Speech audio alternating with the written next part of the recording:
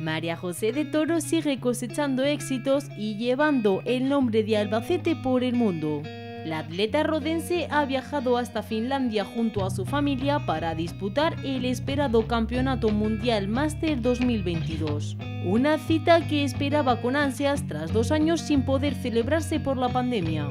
No esperaba llegar en este estado de forma por lo último mes que he sufrido unas molestias en los piramidales pero finalmente me lo pudieron solucionar y, llegar, la verdad, en un estado de forma que sé que no es el mismo que tenía este invierno, pero es óptimo para poder afrontar este mundial con un poquito de garantía.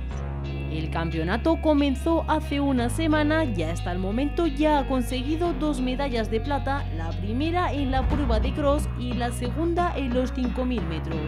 Sabíamos que, teníamos una rival bastante fuerte. Desde el primer momento salió tirando ella y eh, yo me quedé en un segundo grupo y, muy bien, lo dirigí hasta la quinta vuelta y a partir de la quinta vuelta decidí escaparme un poquito más y finalmente pues eso, acabé las 12 vueltas y media que consiste el 5000 en, en la pista súper bien. Al atleta rodense todavía le queda el 1500, la prueba reina por excelencia que se disputará el próximo jueves 7 de julio.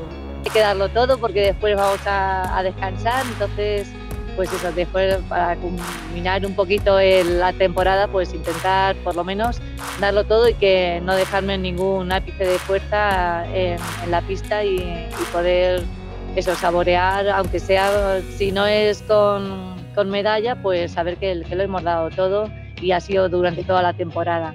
María José está muy contenta y satisfecha con los resultados obtenidos hasta el momento. La atleta albaceteña llevaba todo el año deportivo preparando esta cita mundialista y está siendo todo un éxito.